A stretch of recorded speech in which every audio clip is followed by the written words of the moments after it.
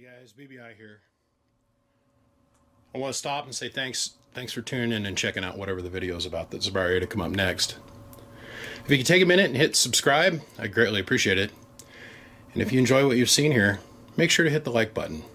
We'd greatly appreciate your support. Anyhow, guys, all that aside, let's get on with the show.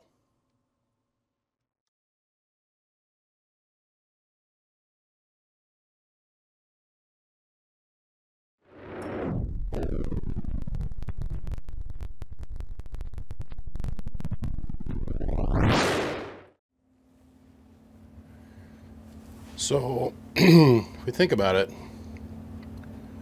if we take and block off the front end of this here, then somewhere in here I'm going to have to add a support because this is like 40 pounds of heat sink. Probably have to add a support here and something out in the middle because we don't want it to flex and break break this phenolic. Well, let's see where we're at with the pole.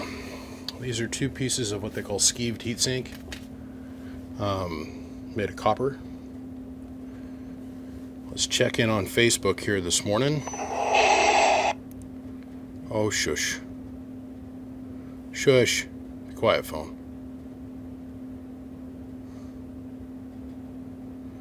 Okay. Let's go look at Facebook this morning. Uh, let's see here. Groups. BBI amps. So I started a poll. It's a busy group. Okay. So this was 24 hours ago.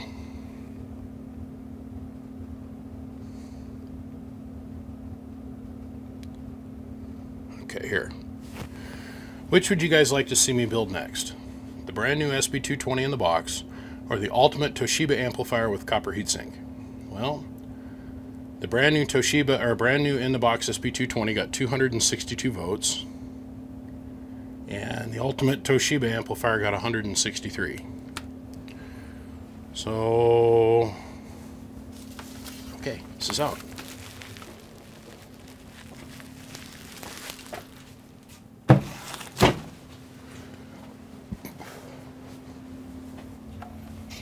We'll return to you, my sweetheart.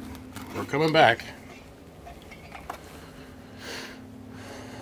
Now, uh, this project scares me. Really honestly scares me. Because this is one of these things that I got to do due diligence with. I cannot shortcut, corner, nothing, not that I ever do, but this is a once in a lifetime opportunity right here. Now we don't know what the condition of the amp is in on the inside. The paper, none of the packing, none of that stuff has been fooled with, ever. So we don't know, we don't know what we're getting into inside the box, but we're going to make the best of it. And I'm going to do my due diligence to make this exactly correct. Um, I think if I did not due diligence on this and did not give this 160%, I think the ham community is going to drag me out and hang me by my short hairs and not only beat me with a garden hose, but probably with a wood stick. So,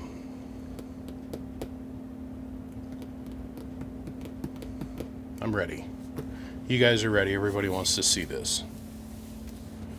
So, this is it.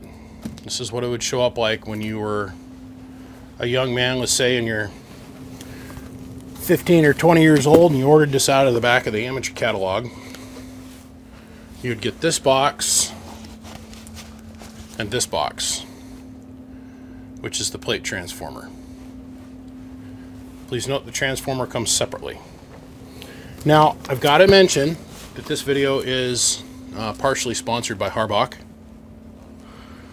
Um, and what I mean by that is I called Harbach and they were stupid cool with me on the phone. He got so excited. He's like, You got what? I'm like, yes. I've got a legit in package, non assembled, still sealed SB220. He goes, Well, how can I help? And I said, Well, I know for a fact that the caps that are in that thing are going to be junk.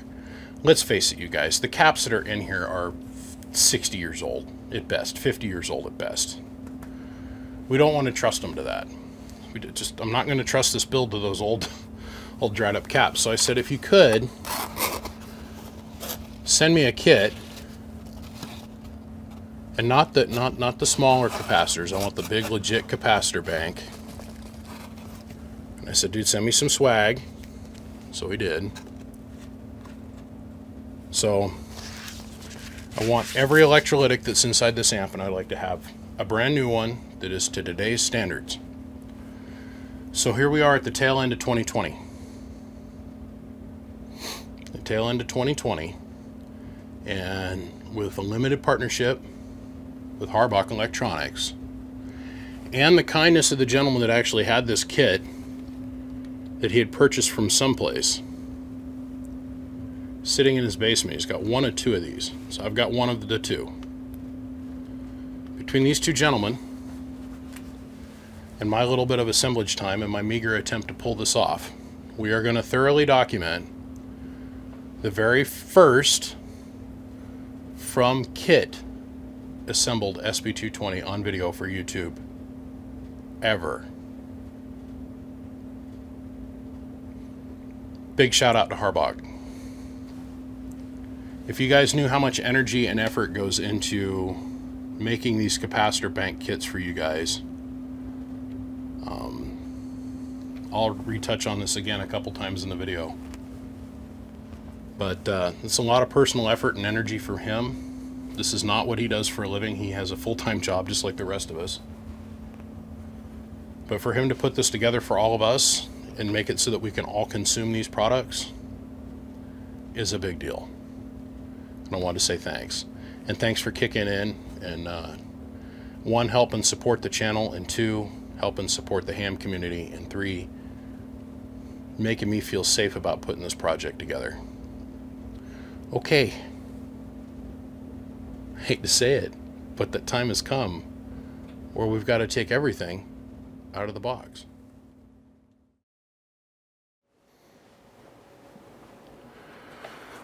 Well, gents, um, we're going to do this with a multi-camera view. So first off, we've got the big camera up here, eye in the sky, looking down at the workbench. We're going to use this for our layout table. Let's go over here to the other camera. We've got this set up on a table over here. And we're going to slice this thing open. We're going to start pulling parts out of it. And then we're going to lay them over on the big, on the big bench. All right, let's come on over here. First off, let me say once again, big thanks to Harbach for helping make this project happen. Big thanks to Mr. C. He, um, like I said, he's got a couple of these units. He thought that this would be a really fun thing for me to do. And, you know, he'd been listening to me bellyache for years about how I wanted to find one of these. And this was like some kind of really weird dream that I had that I had to get out of my system. And I want to thank him for that. He, uh, he shipped this up here and he says, here, have at it. Um, when you're done with it, sell it. I said, okay. So here we are. I already own an SB220, you guys. I bought one um, from Bakerman. Jeez, like 10 years ago, okay? And it's it's all hopped up. It's fully functional on all bands, but it's all hopped up. It's got, you know, new plate transformer in it and all the all the new spiel in it that you can get into it, but I have no desire to own this, right? I don't. I'm doing this um, just for the pure pleasure of being able to produce it for you guys to watch. This has never been done on video before, and I thought that everybody would really get enjoyment out of this video. So there was a total of four boxes, three that were sent from Mr. C, one that was sent from Harbach. And so I called Mr. C, and he goes, well, don't forget that third box. And I said, what third box? Now, those of you that follow along on the BBI Amps channel on Facebook, the little Facebook group, the BBI Amps, um, you would have seen this live, the unpacking of this box and the whole story, how comical it is that I have multiples of these boxes and I've never even noticed. But what was in this box that Mr. C sent up is this right here. I don't know how rare this kit is, but I've never seen one before and I've never seen one offered for sale. But then in the same breath, I've never gone out and specifically done an eBay search for it. So this is part number 40968, directly from Heathkit. And in here is the complete conversion kit for the 10 meter portion of this amp. Okay, the upgraded band switch, the longer tank coil, the upgraded chokes, all the capacitors. Virginal, by the way. And uh, the legit directly from the Heath Zenith company, which I did not know Heath and Zenith had merged or were the same entity. But Heathkit letterhead down here on the bottom, Heath Zenith at the top, a complete parts list, and somebody manually went through and checked out that all the parts were there. And this is the official kit that they would send you to convert your SB221 to an SB220. And then also what Mr. C sent up was this. These are two badges.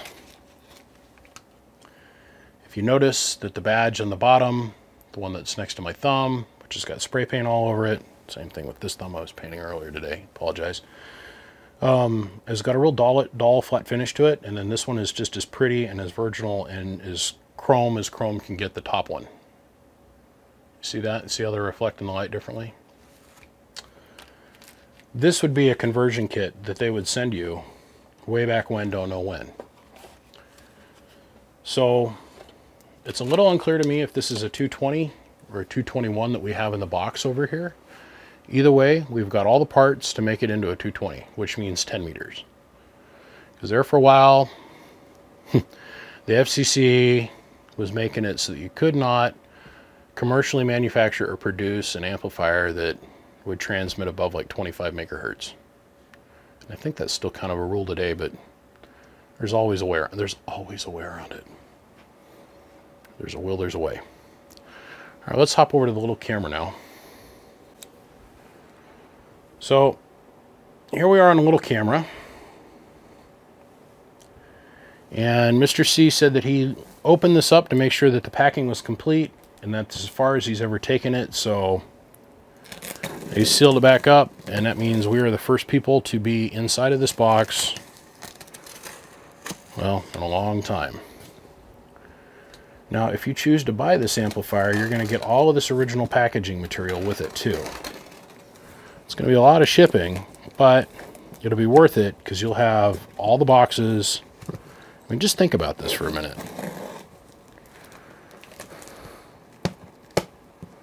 Come on, let me have it.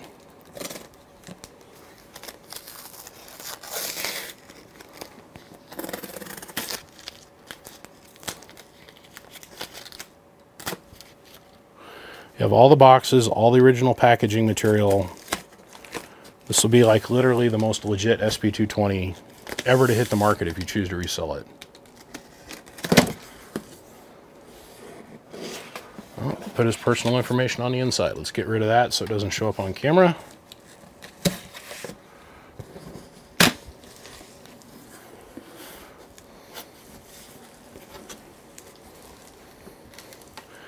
I feel like that scene in Pulp Fiction where they're sitting around looking inside the briefcase.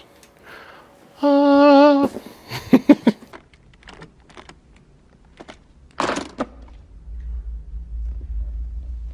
we happy?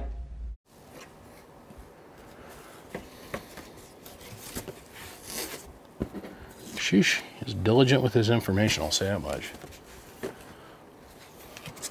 All right.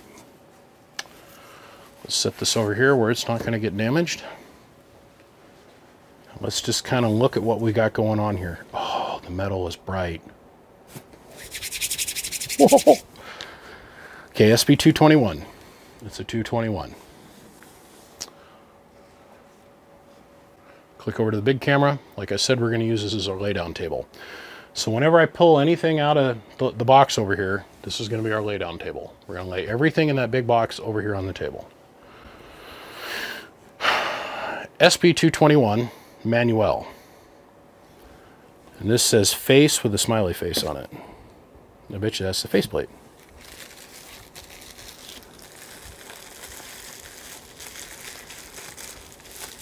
The transformer support bars.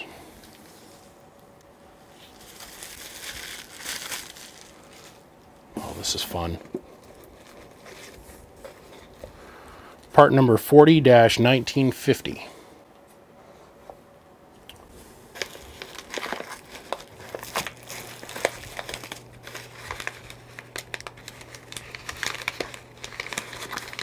This is like a capacitor, a pile of capacitors. This is part number 172-6541-2, PT-2 of 3.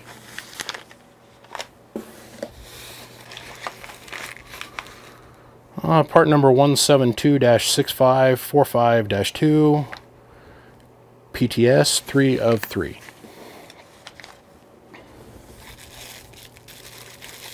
There's our output inductor tank coil, part of our, our tank coil.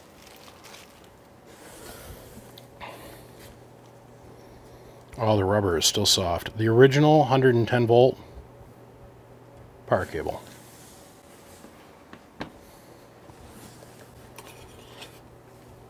The high voltage shorting bar. I cannot wait to see what is in here.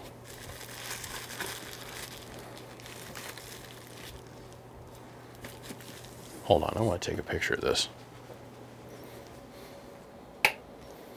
Sorry, guys. Sorry.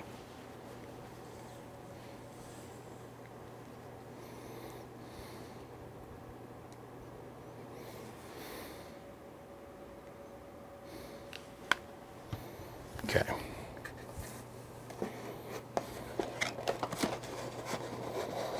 E.F. Johnson, I'm sure these are our tuners. More in depth with this in a minute.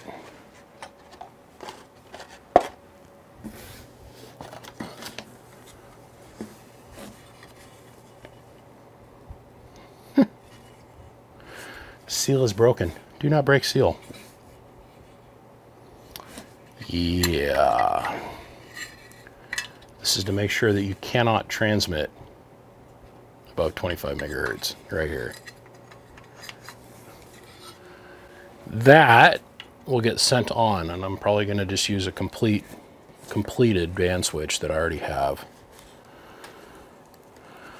This is part number 407-145.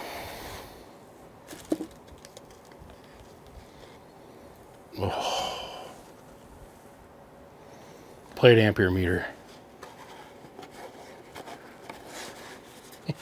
this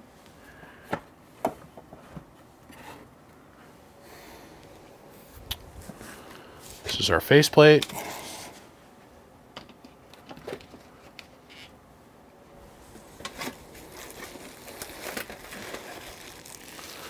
This is our side strips.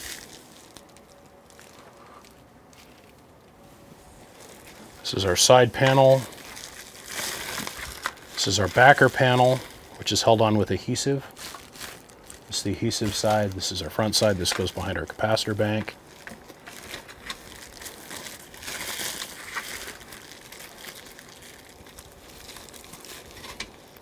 Our two side panels, our rear panel, and the stock legit faceplate.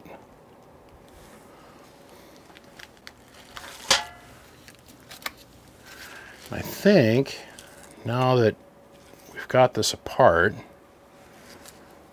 this is another faceplate he threw in.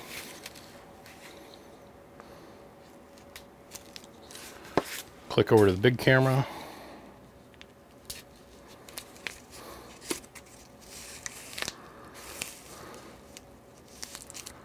Which is the silkscreen side.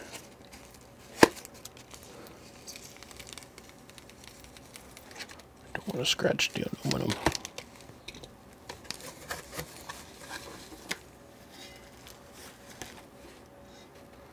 Okay.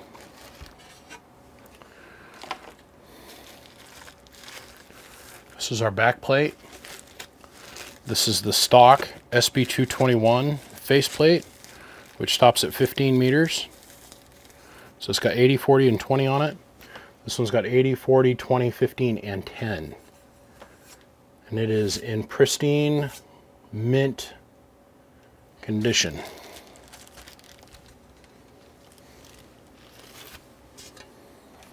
Let's put this away because I know my luck and I know the way I work. If I don't put this away right now, I'll drop it and scratch it. Geez, Mr. C, you put your name on everything, didn't you, buddy?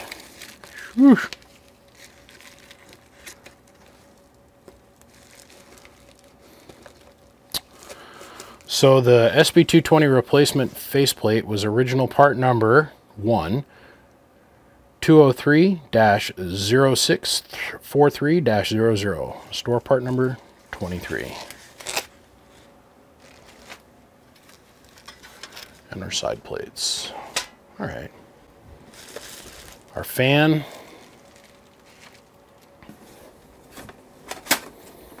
our rear plate that goes across the back of the amp piece of RG8U coax, which I'm really tempted to put 393 in it, but I'm going to try not to.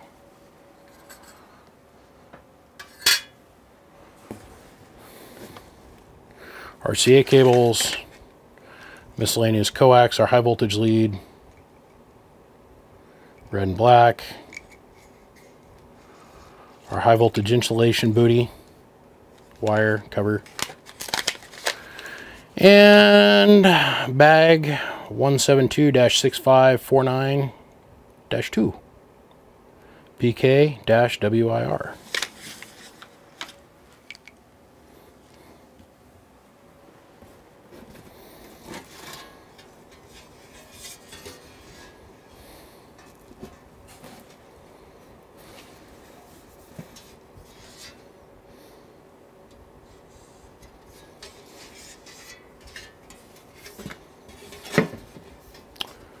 Sockets, fan cutout, RF pass-through, RF pass-through, out, in, filament pass-through, filament input. Um, this is the cutout for the high voltage notch. This is our pass-through over here in the corner for a metering circuit and our on-off switches.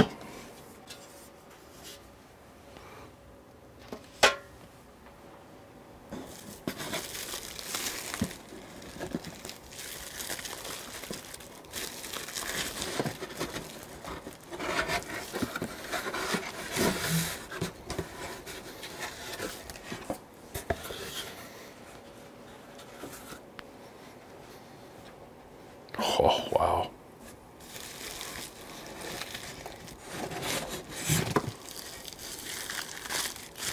This is our internal shroud. So our fan goes, high volt transformer, capacitor bank is all going to be on this side of the shroud.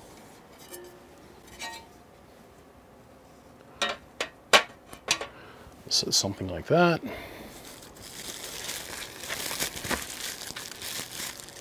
I really can't wait to get in here and see how the tubes are packaged. So it was shiny aluminum. Look at that. It's our top plate.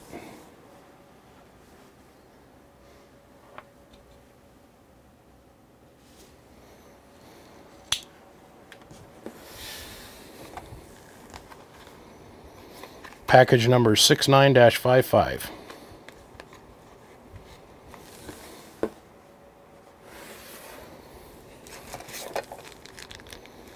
Legit. They sent a baggie of solder. They did. That's awesome.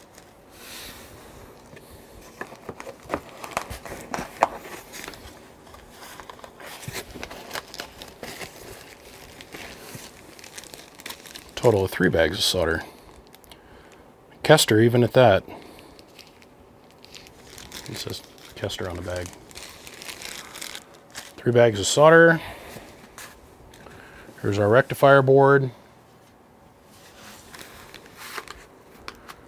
This is our load tuner.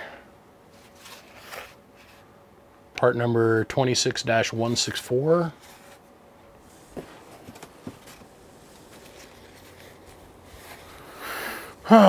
Box part number 1726548 420 621. I'm sure this is going to be a doorknob. Intra Labs, North American Philips Company.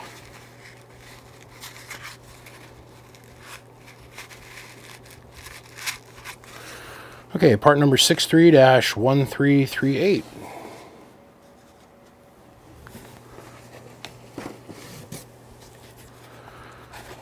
Part number 1726534, unknown.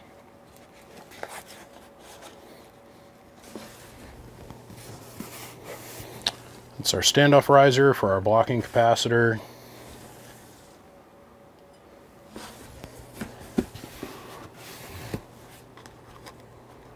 Op unopened. All of this stuff is unopened.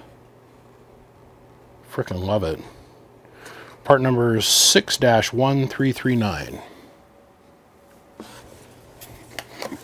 This is going to be our other meter. They send us a rubber band for some reason. 407-146. Other meter. Makes sense. The plate meter is one or a 407-145, 146. That makes sense.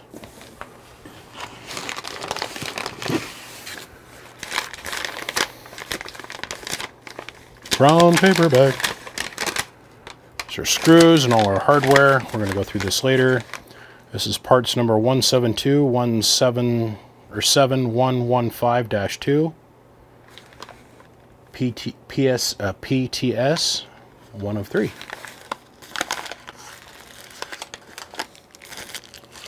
So that's one, that's two, that's three, three rolls of solder. This is our housing for our capacitor bank.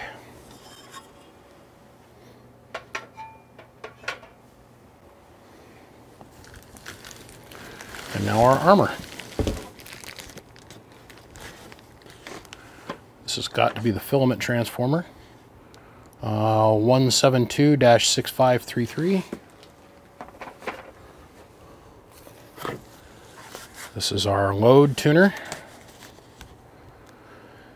26-145.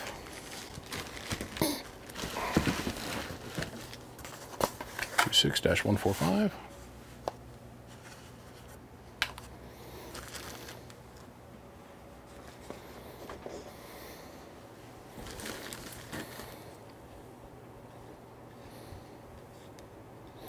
I've never seen them when they're clear.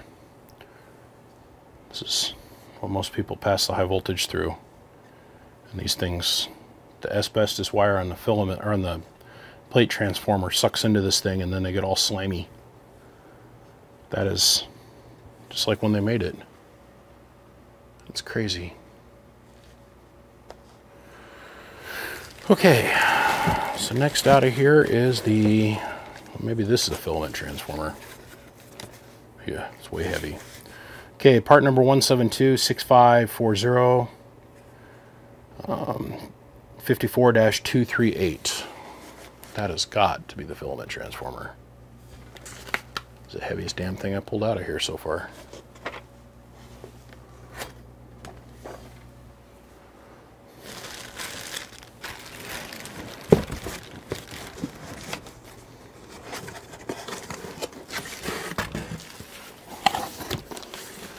Glass, handle with care.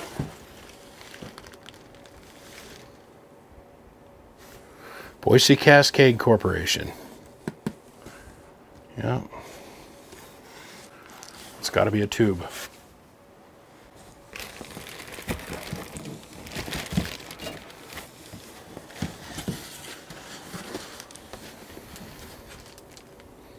Eimac, Electron. Is our other 3500Z. Now, this is an open box. Down in here in the myriad of my stuff, I have another Eimac box with a 3500Z in it that has not been opened. And of course, our armor, you guys. Okay. has not been opened. So we're just going to deal with the cards that we were dealt, which this is an awesome deck of cards to have to play with, in my opinion. This bums me out a little bit, but I think we're going to be just fine. Let's see what we got on the inside here.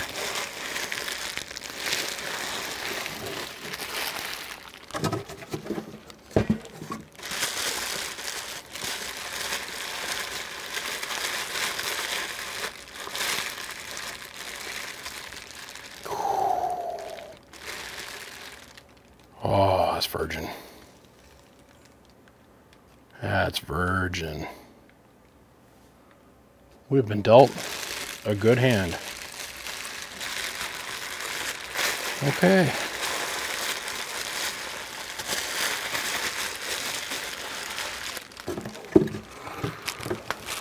Now, that's two $400 a piece tubes.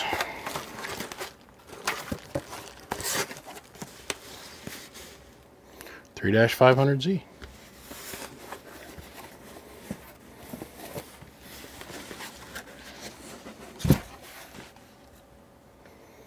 That is everything in that box. I cannot believe I have it all sitting on my workbench. this is going to be fun. Okay. Now, as you guys are all very aware, um, I've repaired a lot of these. So the question is, how much do I really need the book? I remember a time where I needed this book a lot. Okay. So we're going to start with the book. And we're going to follow the book and we're going to do it per spec.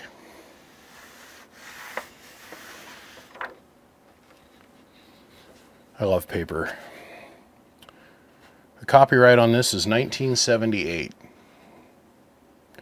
So here we are 40 years later. And we're going to start. Now, I had a guy send me a question the other day. He took a picture of an SB200. And the back of it was this, this sticker.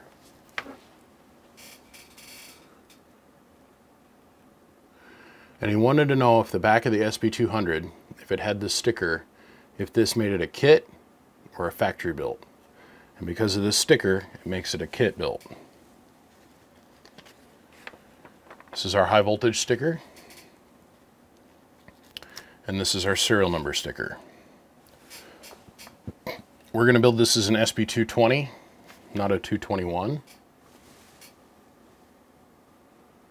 But serial number 07-45665 is our number. A piece of sandpaper, and I can only assume that this little piece of sandpaper is for cleaning the paint off the back of the faceplate around the uh, the knobs and um, the center ground post on the distribution plate on the front of the meter. I'm guessing that's what that's for. For fun, we should probably fill this out and send this in and see if it would actually go for anything. Um, this is our warranty card.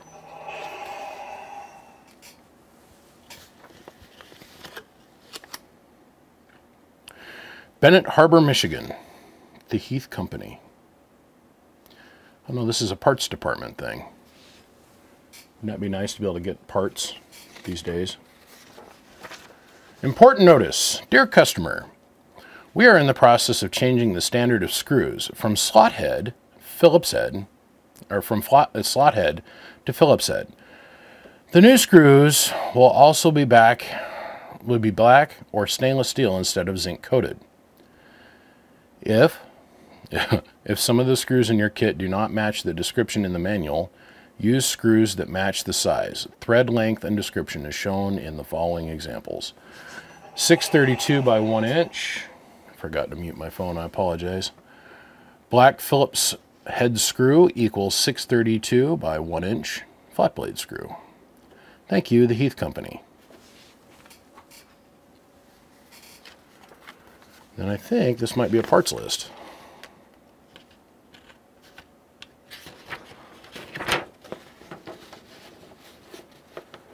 Uh, parts require only. Be sure the following instruction. Uh, be sure to follow the instructions carefully. Use separate letter for each correspondence. Please allow 10 to 14 days for mail delivery time. Write in this space. Instructions. Please print information. Heathkit. Blah blah blah. Oh, back in a better time, all I had to do is put something in the mail. Instead, today we've fast forwarded to point, click, and pray. Okay, table of contents. Instructions. That's page number four. Uh, unpacking page number five. Assembly notes page number six. Parts list page number nine. And then step by step assembly instructions start on page 13.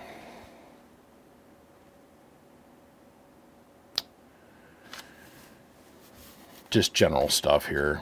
The ALC wiring, top case assembly, under case wiring, 120, 240 volt wiring, final top case wiring, uh, cable preparation, knob installation, operations, control connect connectors and uh, meters, general tune-up, uh, periodic maintenance issues in case of difficulty. Uh, it's all on one page. Kiss it and shipping and instructions and troubleshooting chart is all on its own, page 85. Specifications, uh, circuit description, power supply, relay, RF circuit, ALC meter, meter circuits, circuit board, x-ray views, that's on page number 92, chassis photographs as reference, schematic fold-in, uh, warranty front cover, and customer service rear cover.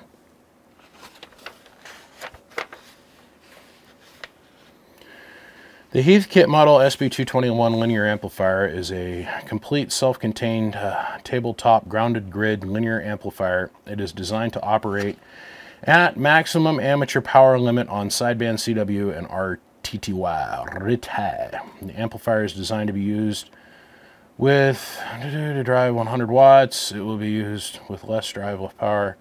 And the overload output broadband tune input circuit for each band feeds the two Eimac 3500Z triodes connected to grounded grid configuration. The tubes are biased beyond point of cutoff in the receive mode and the Zener regulated bias controls the idle current in the transmit mode. The tubes are cooled by a fan, Sealer fan. The ALC develops a negative voltage to be fed back to the exciter, aka radio, to reduce its gain when the amplifier is overdriven. That's one way to use it. Um, uh, the antenna changeover relay is normally adequate by exciter relay contacts that are placed exteriorly to the amplifier in the transmit mode. The amplifier can be operated from either 110 volts or 240 volts, 50 hertz, blah, blah, blah, blah, blah, blah, blah, blah, blah, blah, blah, blah. Okay. An important feature of this amplifier is that it cannot be tuned up at the 1 kilowatt limit and then be switched to operate to sideband to 2 thirds kilowatt PEP input. Also, switching changes both the voltages, current uh, changes both the voltage and current to the final tubes. The impedance remains the same, and no additional adjustment for tuning circuits is required. What they're talking about is your tune-up S, uh, CW S, SSB switch on the front of the SB220. All that does is change the taps. We're going to cover that as we go further into the into the amp. And if you tune this thing up and low, they're claiming that if you go to the higher tap, which has got a higher amount of plate volts, and it's a different complete tap in the transformer itself, um, the amperage will also increase, but there's no need to do any further tuning after you've achieved your tune, and I found that not to be the case. But um, the tubes are instant heat type of transmission may be started as soon as the amplifier is switched on after tune-up, in parentheses.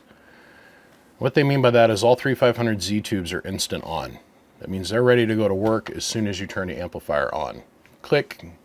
If the amp is already in tune, let's say, let's just say that you turn the amplifier on, you load the, you load the amplifier up, you get it all loaded up, and then you shut it down.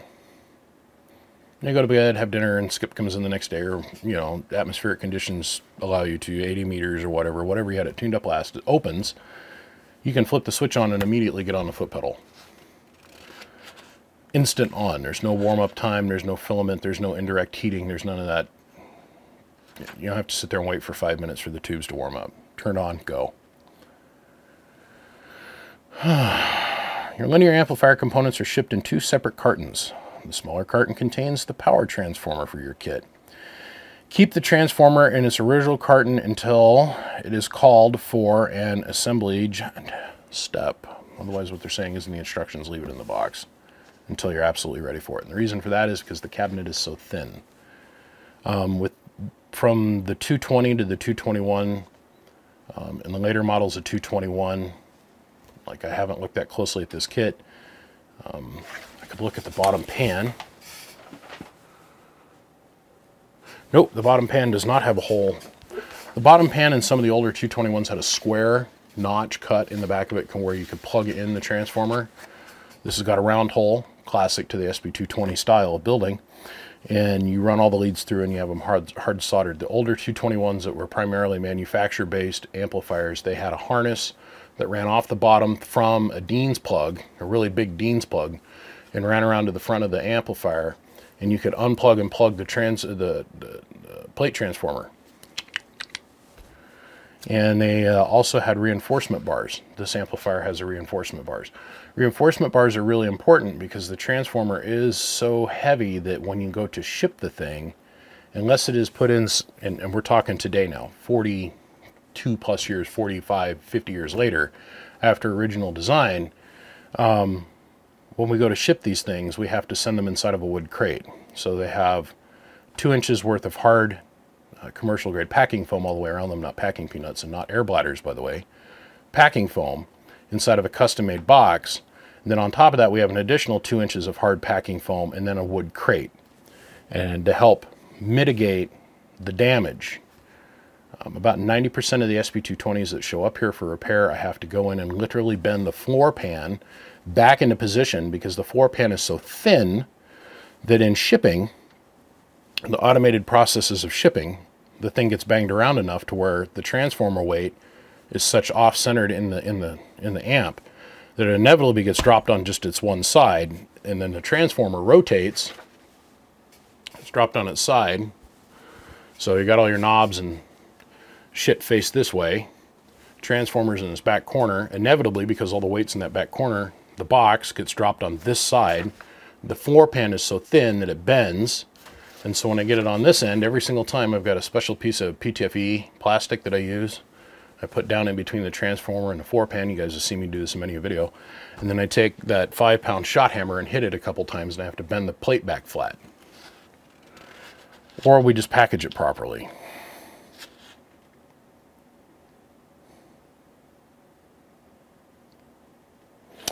Any parts, okay, skipping, sorry. Got off there on a tangent. Any parts or group of parts that is packaged in a bag or envelope with a part number on it should be returned to its container after you identify it and remain in the unit until actually used in a step. This will prevent intermixture of parts and add to in-part identification. Some parts, however, have been placed in a bag or envelope that is not marked with an actual part number. Uh, they, they Got to make it like Legos from China. I don't know if you guys have ever bought the off-brand Lego from China, which is exactly the same. When you buy Legos, everything is in a bag. Page number one is in a bag, page number two is in a bag, page number three is in a bag. When you buy the off-brand version from China, you get the instruction booklet, and not everything is broke out in pages. Actually, they just send you giant Ziploc bags full of the assembled part or non-assembled parts, and you have to figure out what parts go where. It just keeps the mystery alive, right? It's like Legos on a more frustrating level. But instead, in uh, number, but is instead marked with a packing number that begins with the part number 171. The 171 numbers are used for packing purposes only. Do not appear in the manual or parts list. Open each bag or envelope that is marked with only a 171 packing number and identify the parts and its contents visually. I added the visually part so it made sense to you guys. Save all packing material, all parts have been located in a further symbol step by step. Note, never use a 177 part number. If you must order replacement parts, use only the part numbers listed in the manual as parts listed for this purpose. Okay, so they are claiming, I can't believe I'm the first person to get to crease these pages. Let me change the white balance here real quick. Yeah, that's better. And let's zoom in here for a hot minute.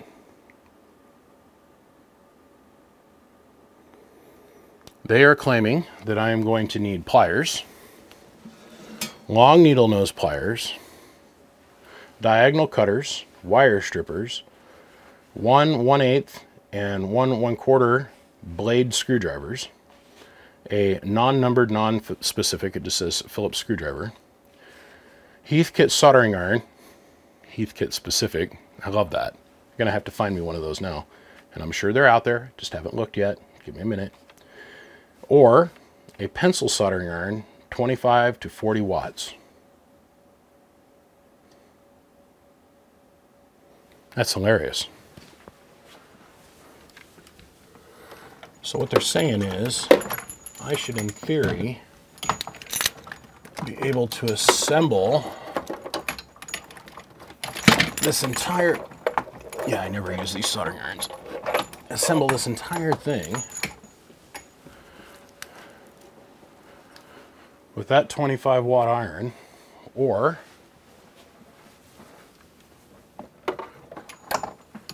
this little 45 watt iron. Hmm.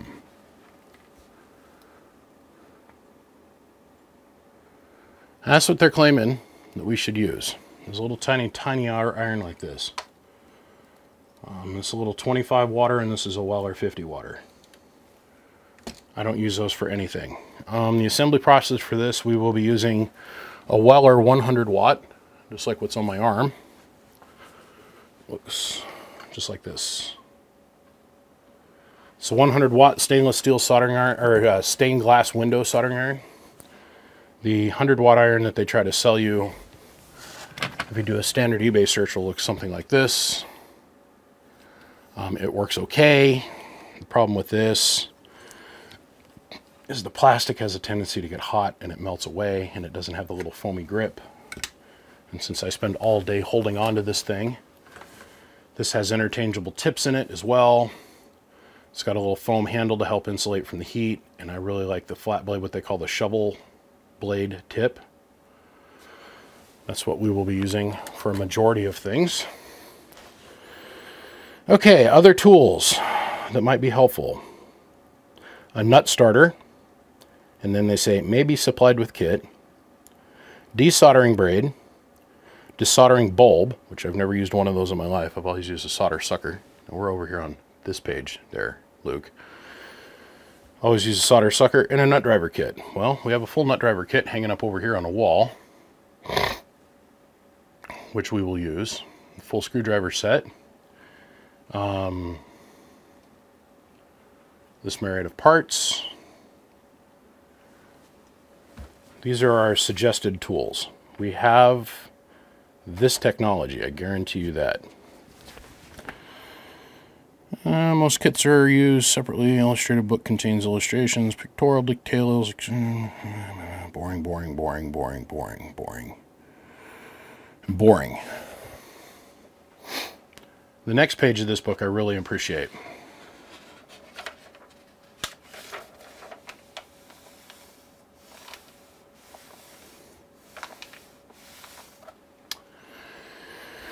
This is your standard visual identification um, chart for resistors. This is your identification for its watts, how many watts it is.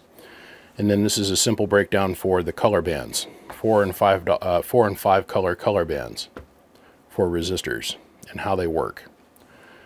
This is your band one digit, band two, band three, and then your multiplier, and then our tolerances. Um, I learned this from the little wheel, and I'm not going to lie to you. I have the Insta app on my phone, which is a resistor color band calculator, because I'm too lazy to remember the, the color code. Absolutely not going to lie. Never even bothered to learn it really for that much. Um, for years in my wallet, I carried around the Radio Shack three wheel resistor wheel. I'd be looking at stuff and I'd reach in my wallet and pull that thing out. And the other guys that were there, they'd laugh at me. You need to learn a code. Yeah, hmm, I'll get right on that. This is also, that's what this is. This is your capacitor identifier. Okay. This is a neat, neat chart. This is a neat chart. But they re are really presenting this to us as, okay, you don't know anything, but we want to get you to know. So we're going to give you this little tidbit of knowledge, and if you decide to use this little tidbit of knowledge, it's great. Or you could be like me and just be hard-headed and, you know. The next couple pages are our parts lists. We could go over that in excruciating detail. Um, but I don't want to. I don't want to. Okay, so this is your FCC label. In the day, there used to be a handshake, per se, and there still is, that takes place with the FCC and the amateur community when it comes to producing its own equipment for personal use. Please note, there are no more kit amplifiers out there to buy. The FCC has put the, the kibosh to this. I get asked probably 300 times a year if I do kit amplifiers, and the answer to that question is no. Why? Because it's illegal. It is flat out against the rules. I can sell you an uncompleted component, so like minus the transistors, and then you have to install the transistors. And even at that, it can't be to where I have like switches and on-off or the ability for you to power. You'd have to add all of that stuff to it.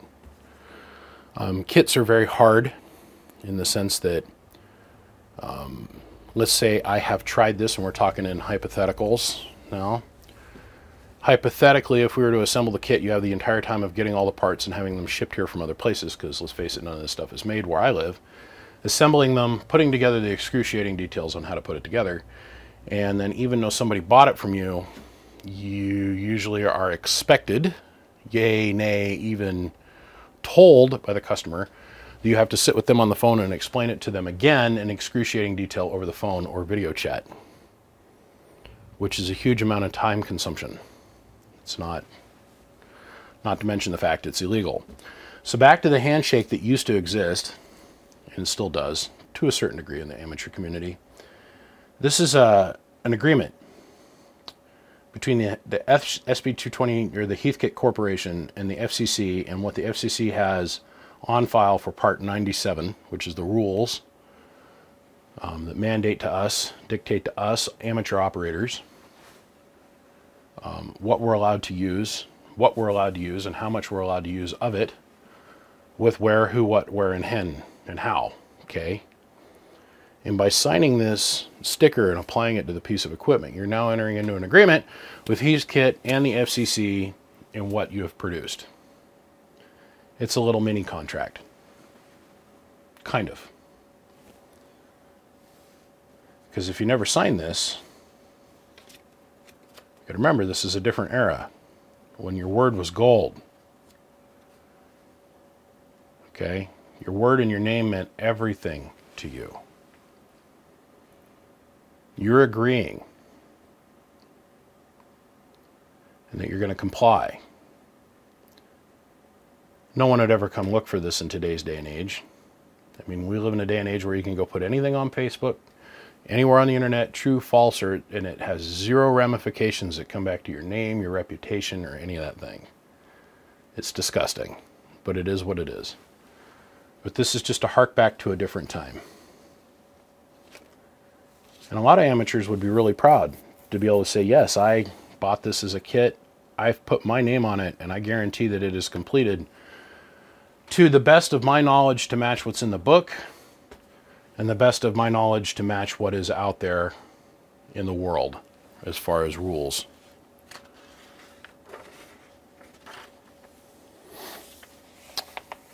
The FCC label right here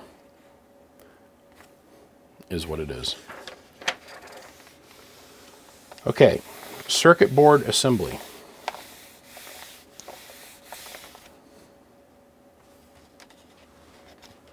Like I'm skipping a page. Step-by-step -step assembly. Uh, da, da, da. Lock washers, lock nuts must be used in screws and hardware, and blah, blah, blah, blah. 632 by 1 corner lock washers. And notes refer to details and proper installation in a hardware. Be sure to follow step by step. Okay. Now that we've all thoroughly read that, this is where they're going to take the time to explain to you how to solder, which I think is wonderful.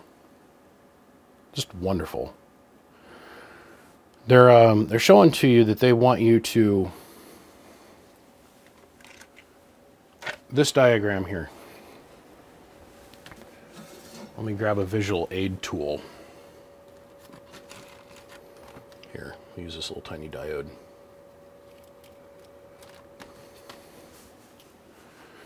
In this diagram, what they're showing here is how they want you to bend the resistors. I bend resistors like this. Just like that.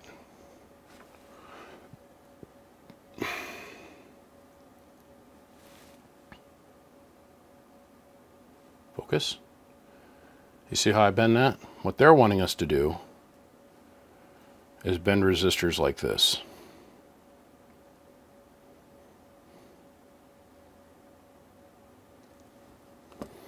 Now, there's some pros and some cons to that style of bending over a resistor. Bending it over a hard edge versus bending it as a rolled over edge.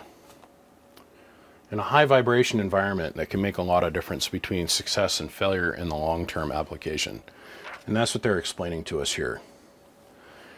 When I used to work with Crown, and Harman Kardon in the car audio world, one of the things that they discovered is they built this huge amplifier. It's called the Crown A6000 GTI. Those transistors, they had a machine that was taking and pushing the legs over and bending the legs over on all the transistors in this amplifier, right? So they built like 10 test pieces and they started running them. Now, engineers are smart and they understand that people are not so smart. And so they took one of those amps and they bolted it to the back of the sub enclosure and we're talking a 180 pound amplifier, car audio amplifier, huge, right? And they bolted that thing to the back of the sub enclosure and then just sat there and let it play for like two or three days and get the snot jiggled out of it. And then it failed. And they went in and they wanted to know why. And what it ended up being was, is that hard bend, the machine would put the transistor out there and then another pressure blade would come down and bend the leg of the transistors over and then get inserted into the board. That hard 90 degree bend creates a fatigue point on the outside of the wire. Okay. The vibration causes a microfracture and eventually the leg goes plink and breaks off. Where if you do a radius bend that's nice and smooth, even on the very small scale of that wire, that radius bend has a tendency to last better underneath vibration. Now, I like my edges to be nice and sharp and clean, and to me, when I go to bend something, I want to bend it this direction. So how I've overcome that is on all my tools, none of the edges are hard. Like when I bought these, I think seven or eight years ago, I literally sat here with a file and sandpaper and filed down the edges so they're not perfectly, perfectly hard. They're radiused. So when I bend against my needle nose, it's a radius bend and not a hard 90 degree bend. That's what they're trying to get you to stay away from doing here. So, and then they're showing you an example of this is where it goes in the board, so on and so forth. Then they're going to explain to you the proper way to do soldering. I think most of you guys have got that. They're covering how solder bridges from sloppy solder work, like here, can be the devil in the details. Let's go on in here and look at the demonstration of this. And then we're going to quickly move away from this and we're going to go, one, I'm tired of talking. I'm really, I'm tired of talking. I want to start making things. They're talking about solder splooge and a solder bridge. And this is what you're actually looking for is nice clean joints like this. So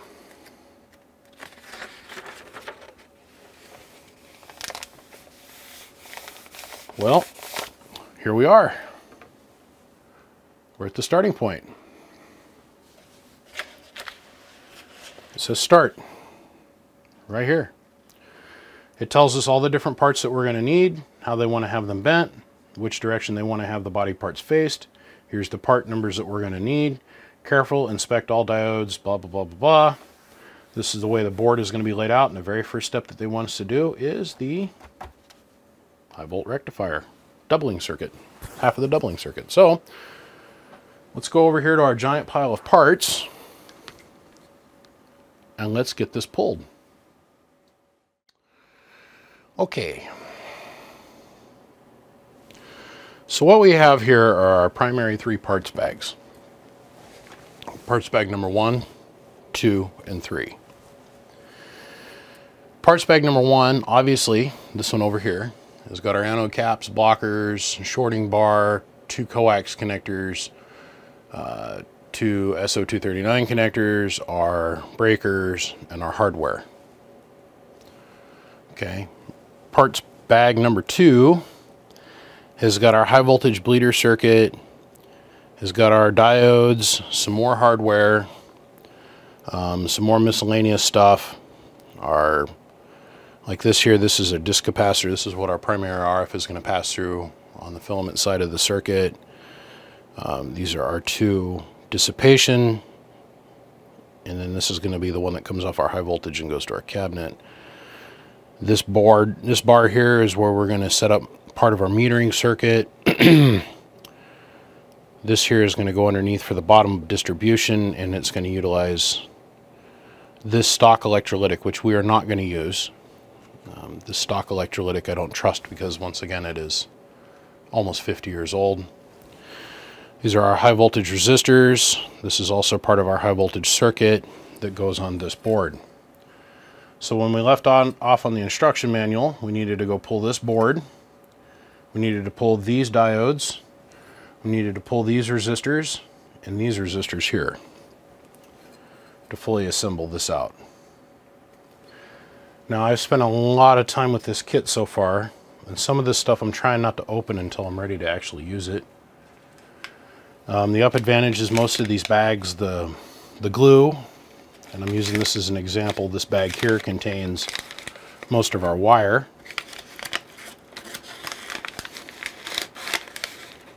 Most of our wire that we're going to use.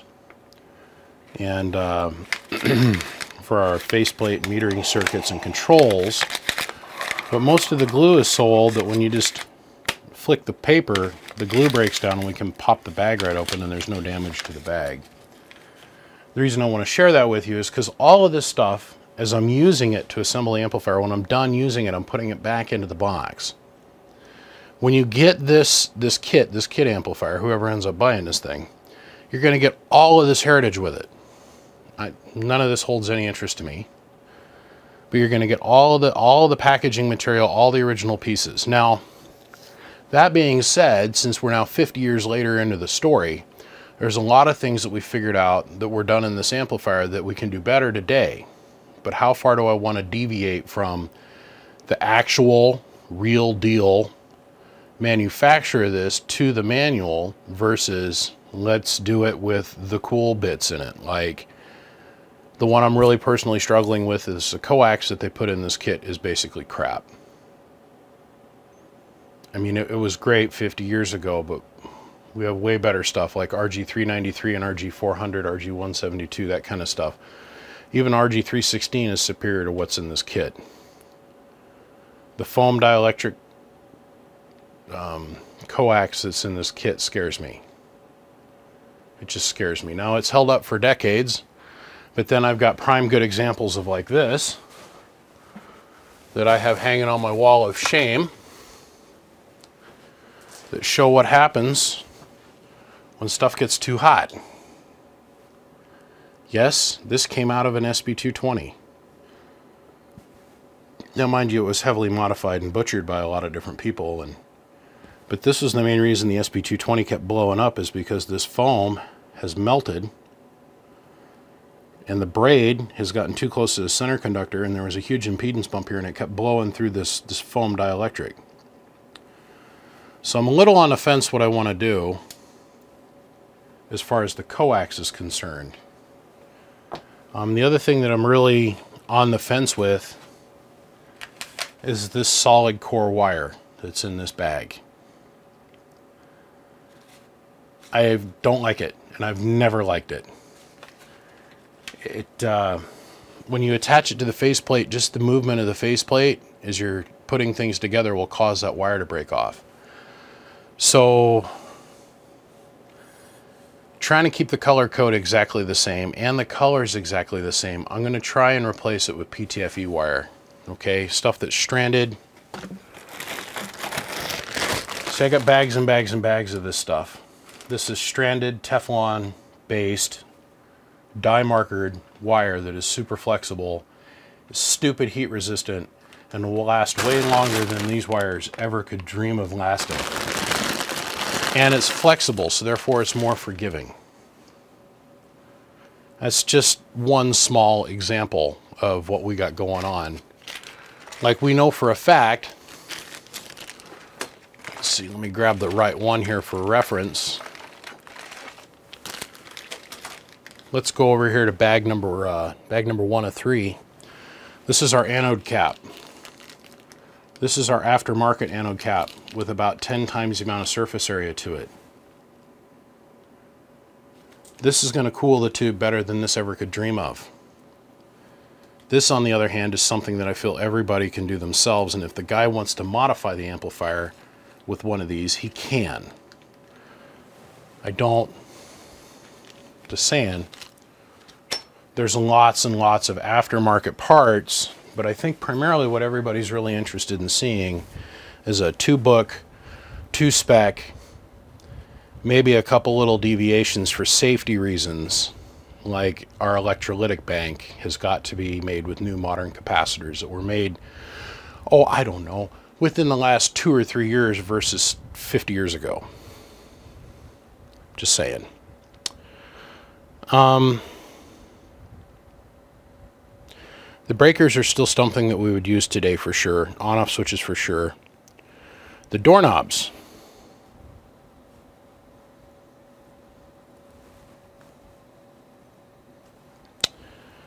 I call it the bubblegum test.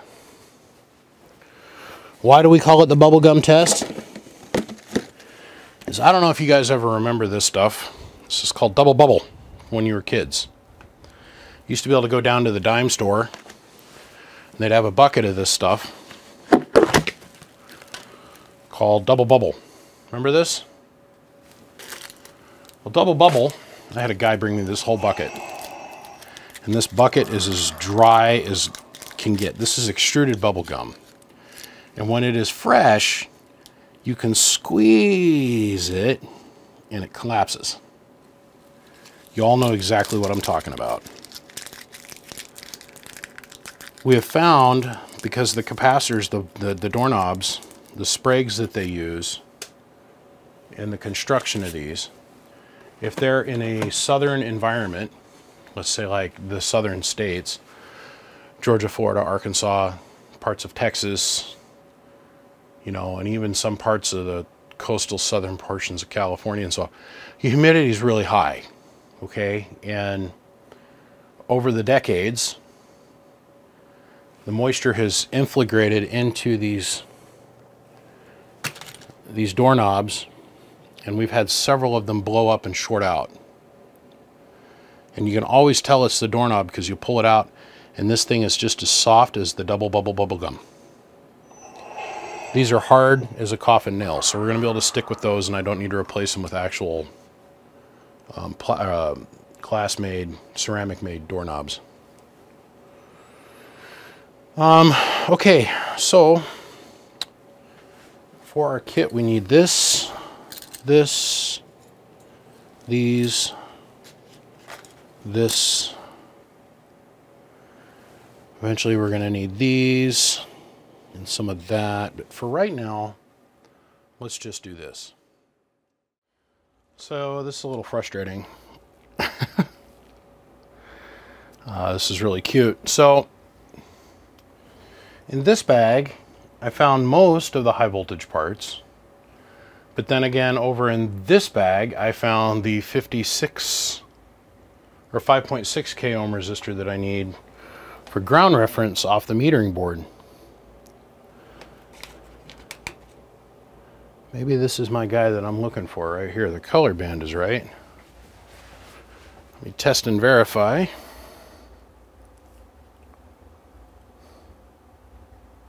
It is. This is it. Okay. All the parts are here. The most common replaced part in an SB220 is a resistor that I have went through every bag in here, by the way, looking for that one resistor and it was sitting right in front of me. it's so weird because all the parts, it, they're in all different, doesn't make any sense. The most commonly replaced resistor is this here. This is 0.8 of an ohm resistor. This is your primary ground glitch resistor. So if you have any problems with any high voltage shorting over anywhere inside that deck, this resistor is the weakest link in the chain. And what I mean by that is it is designed, 100% designed for failure. Okay? In the entire circuit, if something goes wrong, let's put that back in its drawer. That resistor is supposed to give up its life and help protect your high voltage diodes. And it pulls the ground potential away from the board, stopping the rectification process and keeping yourself from killing yourself. So like if the shorting bar makes contact and shorts out, if the amp is still plugged in and that bar makes contact, that resistor is designed to explode. It's the sacrificial lamb, per se. Um, let's say that you have a problem in your tubes, or your plate choke or something decides it's going to short over. What protects your high voltage circuit? That resistor giving up its life. I have dug, I dug through all of these bags.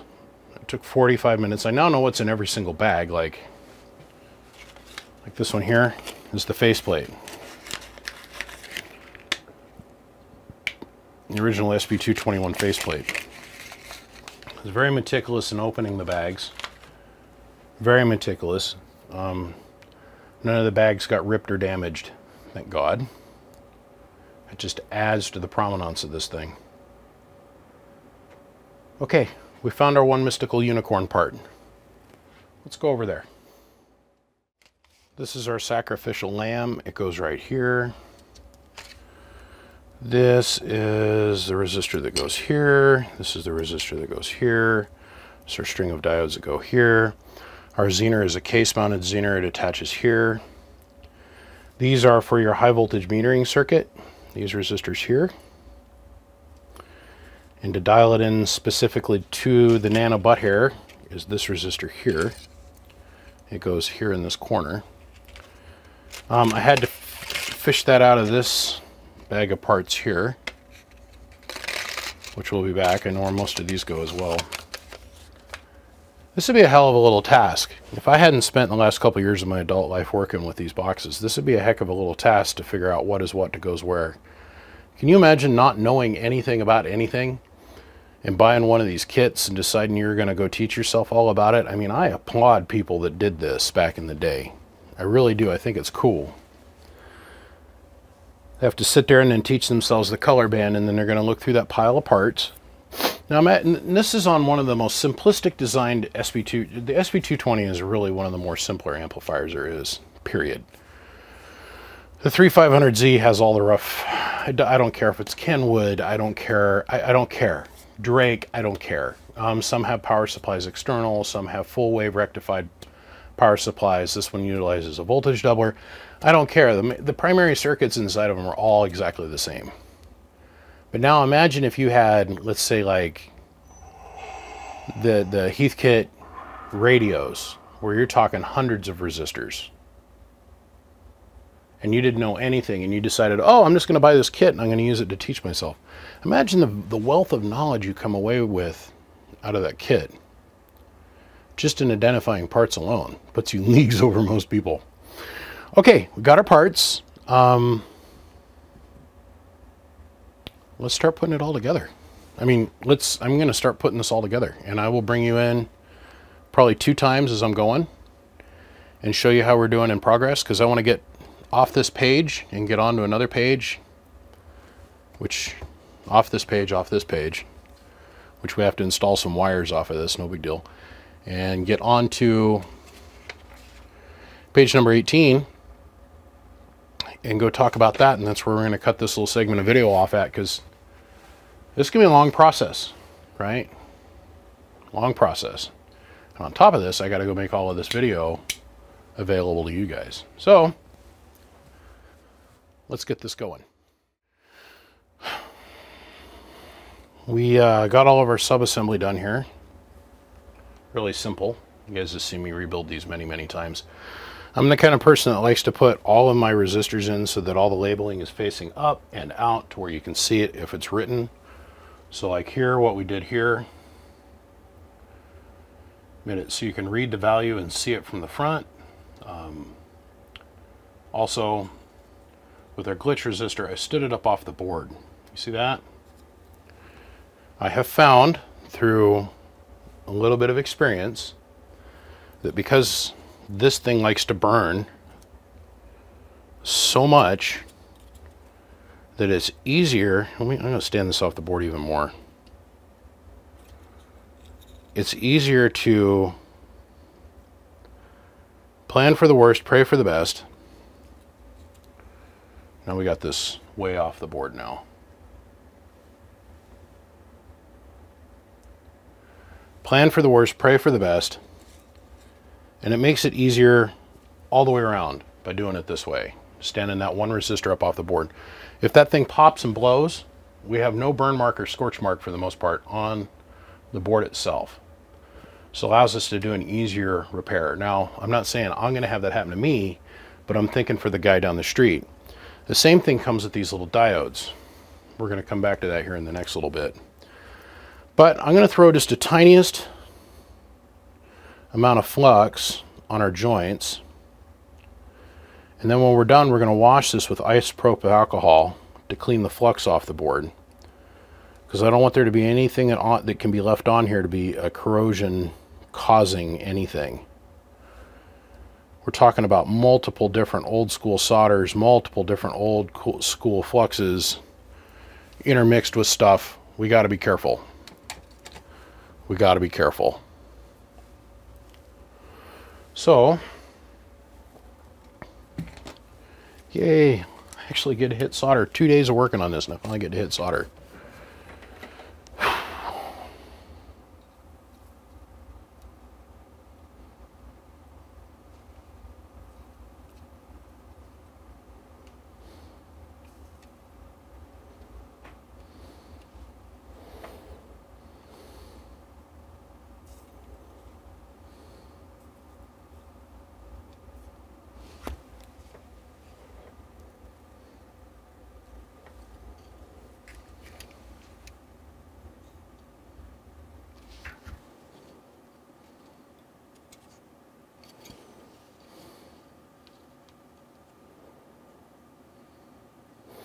Yes, sometimes it helps to have hands that are made of asbestos.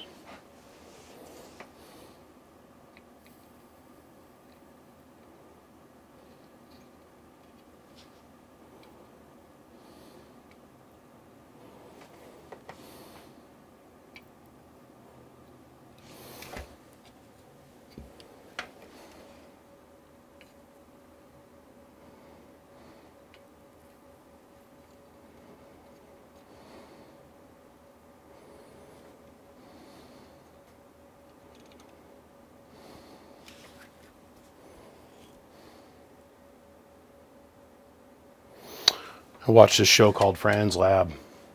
I think she's an amazing person.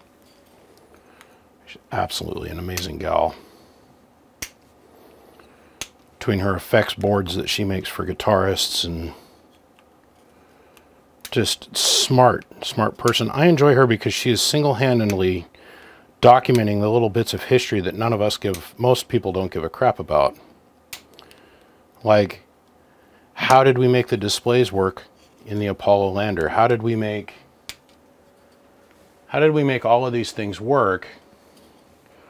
Like the latest one I watched the other day was her explaining about and it was something I was always curious about, but I could never find any information about it. And it's one of these things that's right in front of your face, but you never bothered to think, hmm, how the hell? Um, you know, we're talking The 60s, baby. How did we have displays in mission control that were eight feet across and 10 foot high that people could see in a bright lit room because we didn't have projector technology back then? Have to watch Fran's Lab's ex- explanation on it. I was I was always curious about how that worked and how they were able to because remember when we see something moving across the screen today, oh, our brain just writes in, oh, they did that with digital technology. We're talking 50, 60 tech here. There's no digital on the fly technology of anything. There was no computer rendered graphics at all. How did they make the little lander come off the, you know, Apollo 11, let's say, and then the little lander come off, Eagle, and they show the des- descent down on the sky? How did, how did they do all that? And it was just simple, brilliant technology. I, anyhow, I've been watching Fran's Labs and I've been watching her for a long time. And the other day, she was pointing at something and her hand was, had a little tremble in it. That's my biggest fear. But I know my day is coming. I'm screaming towards 50 every second of every minute of every day, and 60. I just thank God I'm in my early 40s and I've got my love and the dedication for the game that's called radio. And I'm really enjoying the fact that I've been able to work myself into such a good position of being able to help and teach and possibly educate and inspire people to continue trying to build their own projects like this. It's not there yet, but I know it's coming. And my biggest fear is when I lose my hands or lose my eyesight. It just, oh my God. I adore this person. And I was like, I don't know if she was just had too much coffee in her system, but I was watching her fingers like, I was like, no, not Fran. Because she is such an awesome human being. Just awesome. The more you read about her, you find out how cool she has had a life and what she spends her time dedicated to doing for the rest of us for our use. We owe her a thanks. We do. Well, we've got our metering side of the circuit done. Other portion of our metering side of our circuit done. We've got our safety resistor, glitch resistor in place. Let's go do our diodes. Let's take a minute and let's talk about our diodes here. the easiest diode strips I've ever done in my life. They just... the glue is a little, little dried out, man. Normally you gotta really kind of work on these a little bit to come get them to come out of the paper, but um, okay, so there's some pros and some cons that go along with these little guys.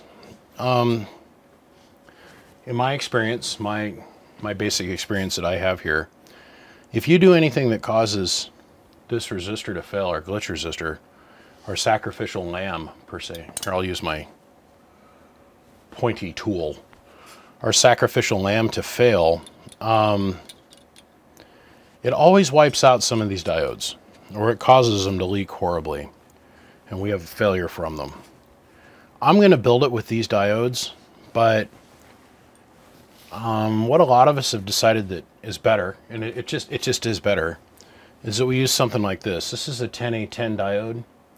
It's a 1000 volt 10 amp diode, which is like retarded overkill for a 1 amp circuit. But the strength of the diode is what we're playing to. Um, a lot of guys will use a 6 amp diode as well. Uh, 6 amps work great, but 10 amps is better. And like they said, but this goes to 11. But why not just mark it so it goes to 10? Yeah, but this goes to 11. It's not the same, but it is the same. Um, this is more than adequate to do the job. If you're not abusive to the piece of equipment, this diode will last forever right? And believe me, I've got a whole room full of them that are full of these diodes and they've lasted for decades, like 20, 30 years. And it wasn't just until somebody decided to put it on uh, 10, 11 meters, 10 meters, and then drive the poop out of it and try and get their name called on 28 or 6 or 11 or 17 or 19 or whatever.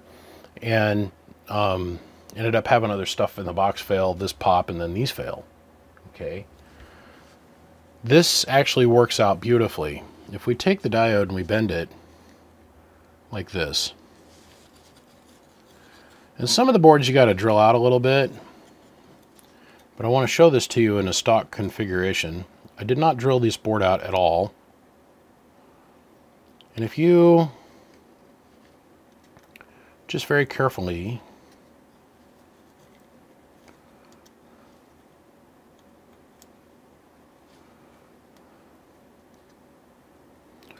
without having to do really any modification of the board. This sits down in here just perfect. Lead link is just perfect for this. And then when you do your reverse diode in the opposite direction, and I'm putting this out there just because I know everybody and their brother is going to watch this video. I mean, they are. You can off stagger these pretty neatly. All the holes line up. And now this is actually stronger than anything that you're ever going to be able to electrically apply to the circuit than this here.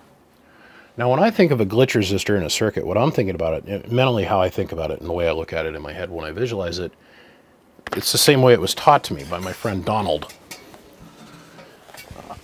Donald told me, he goes, no, no, no, no, no. A glitch resistor can be something that fails or something that you can use to suck up the electrical pulse. When you have a hard arc to cabinet ground in your electrical circuit someplace,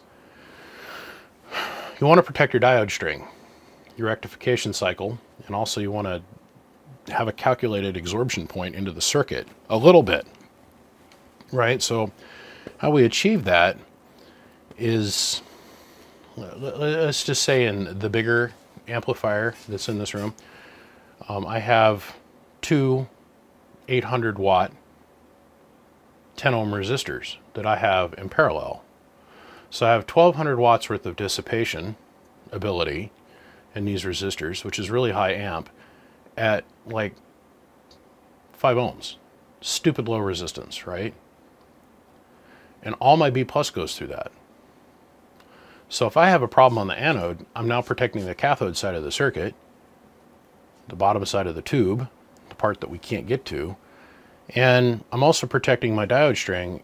And as the short takes place, you have this huge electrical pulse that goes through the through the circuit. Well, those resistors can absorb that energy, expand and contract like a shock absorber to that pulse.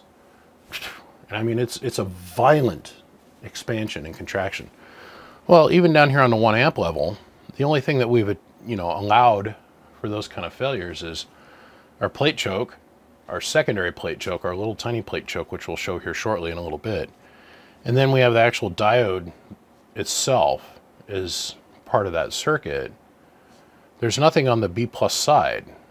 There's no glitch resistor. There's no, other than the, the ability for the current to pass through the little tiny mile and a half long worth of wire on the choke to not being make sure it's not in resonance and RF can't come back to our diode path. And then we add on top of that a disc capacitor to help throw out the reference to ground and change its resonant pathway even more. So the only thing that wants to flow through it is, well, our DC. Um, the other advantage to this, other than its absurd overkill to the circuit, is that, that the way this is spaced, there's lots of room for air to move around the diode body. Okay. Now, like I said, I'm going to build this out with the stock diodes. And one thing that has taught me in experience, and this is contrary to the manual, the manual wants you to pull these diodes down flush to the board.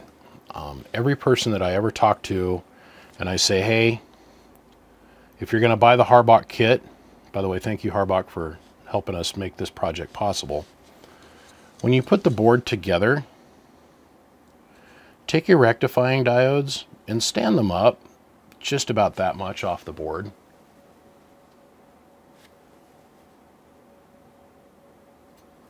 Like seriously, just just stand them up just a little bit off the board. And don't pull them down flush to the board. And the reason I say do that is so that you can have air move all the way around the diode body itself. And when they do blow up, you never want them to blow up, obviously, but when they do blow up, it makes it easier to change and there's less a field effect to the board. Less burn mark, less, just less. But the main reason we do it is for cooling, to help keep the diode, because we're running right at maybe the, this is maybe like a 2 amp diode, right? And so, you know, your meter is an RMS meter. It's not showing you peak, your peak amp load. So when you're sitting here and looking at your plate current, that meter is an average, by the way. It's not a peak reading meter. Um, so you might be averaging 1 amp, but you could be pulling wildly past that in between your modulation pulses depending on how you drive the amplifier. People are going to have fun with that last statement. Go have fun on other pieces of web pages someplace. It's the truth. You might not like it, but it's still the truth. you can have higher peak pulses than that. Usually it's about double what your average number is, roughly 1.2, uh, 2.2, 2.5 times. Um, so you're going to have nanoseconds where it's going to pulse higher than what the actual diode can really efficiently pass through it. So why not give it the best opportunity that life can give it? And let's go ahead and present it with being stood up off the board and give it a little bit more cooling. Now what I use this little tool for, this is a tuning tool. I lay it down smooth with the board. And if you notice, smooth with the board goes all the way across half the diode path. That is my height feeler gauge.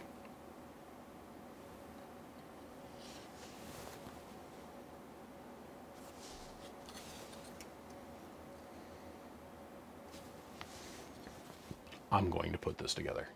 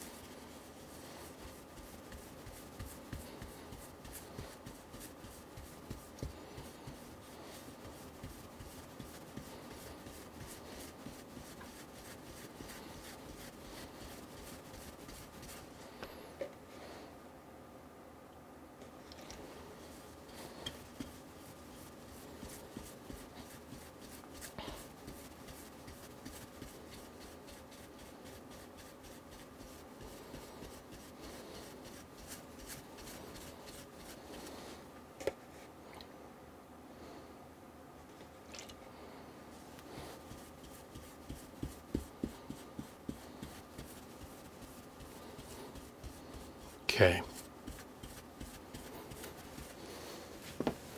So now what we're doing is we're using some very non-aggressive alcohol.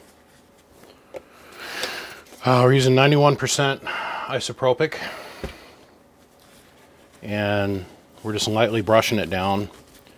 Then we come back through the paper towel and lift the flux off the board. Because remember, the flux comes through the board both directions.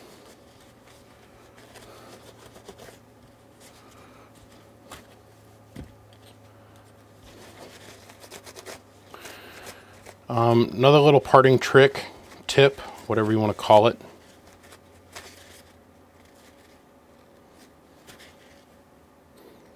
That'll do. That'll do nicely. Okay.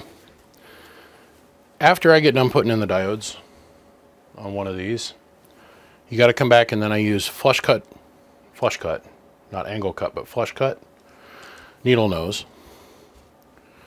A lot of people use these exclusively for zip ties. And for years, all I'd used was angle cut dikes, right? Uh, flush cut. I use flush cut, so I cut them really close to the board. And then I come back and I reflow all the joints again. So the whole tip of the diode is completely encapsulated in, in solder, okay? And it also eliminates a lot of the rough edges.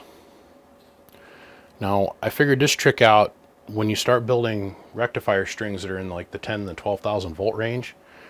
Um, I had one situation where I had a step leader. A step leader is a fancy way of saying that I had an electrical arc that was coming off one of my joints and it was making a pathway through air to case ground over a substantial distance.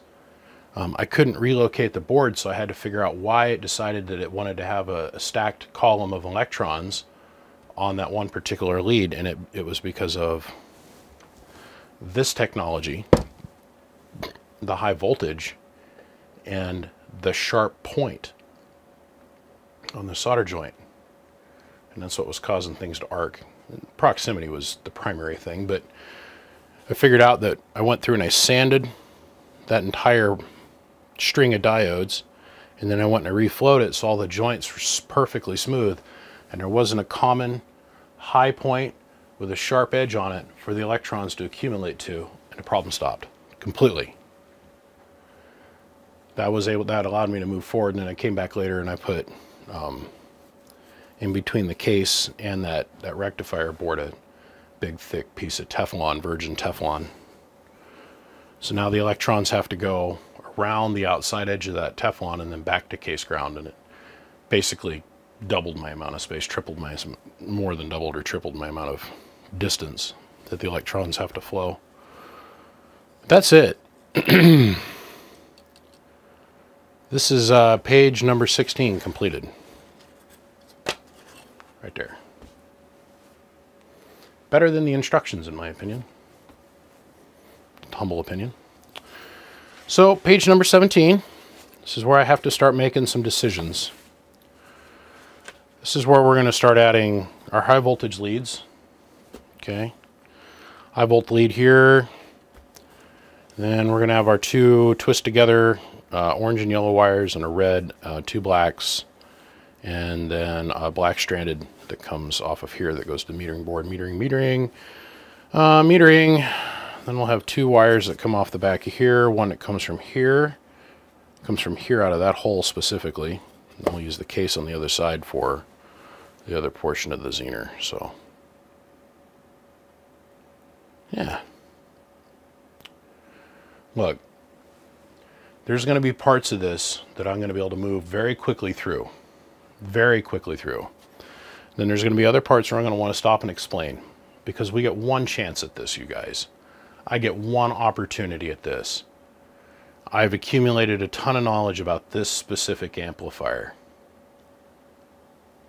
it's in my head and I've got to let it all out. That way everybody can have access to it. And as I continue to grow and doing these things, I'll, I'll have more knowledge, right? That's how it works. It's called growth.